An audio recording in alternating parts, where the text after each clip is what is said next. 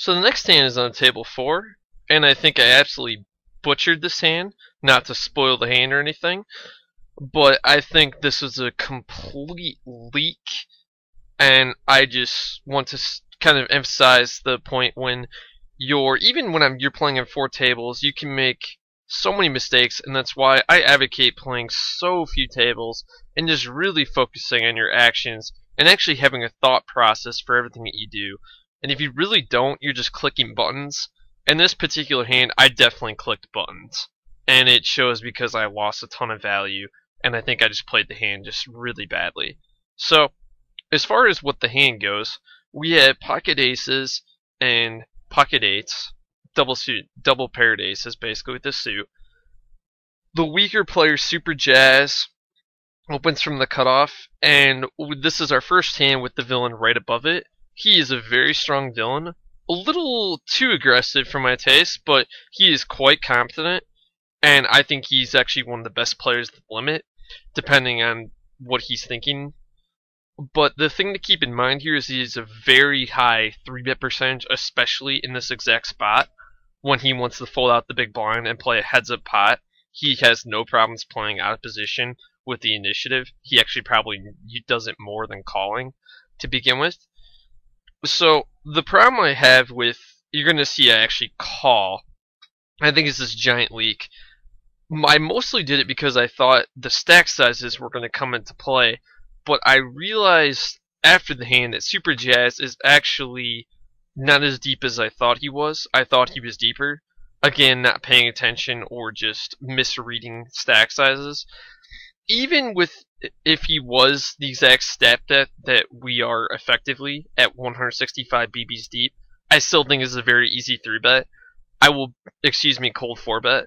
I will be able to get enough money in post into the pot pre-flop to make my hand well enough if we to be able to stack off on a lot of textures, especially because I'm gonna hit enough textures to begin with to making a cold four bet even if we were, say, 200 BBs deep.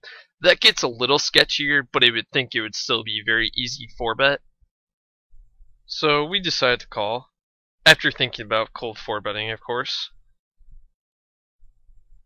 I'm checking a few stats of Super Jazz, among other things. And we actually get a really good flop, as you will see in just a moment.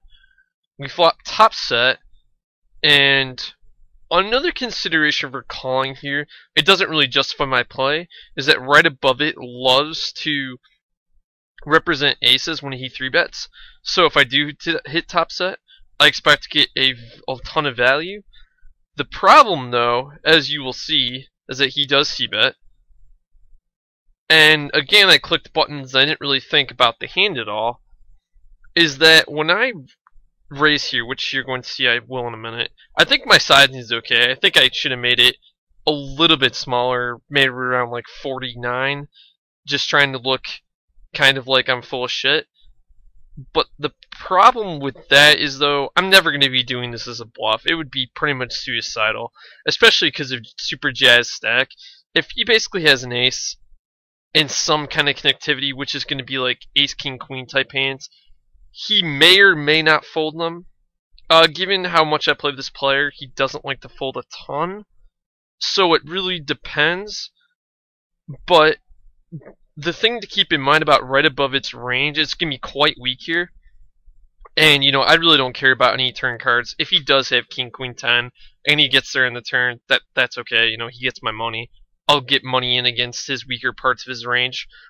But he barrels 60% of the time, when I call this flop, it should look like I should just have like an ace, like say like ace king queen, like four or something like that, or just like ace queen ten nine, just some kind of ace that really doesn't believe him, because we do have a good amount of history of about three thousand hands. So I expect him to barrel quite wide whenever he picks up some equity, or just thinks I'm very weak. I think raising really doesn't accomplish a whole lot. There's really no scare cards if he does have, say, pocket jacks or ace jack or ace king queen 10 or something like that. So I think raising is definitely the worst play here.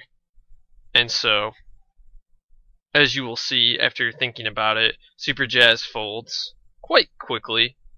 and right above it actually snap folds, which is kind of interesting. But again, it just shows that he was just c betting a very wide range there because he does love to represent the aces. I think he would c bet almost 100% of his range, even something like pocket kings, intending to just bet once and be done with it.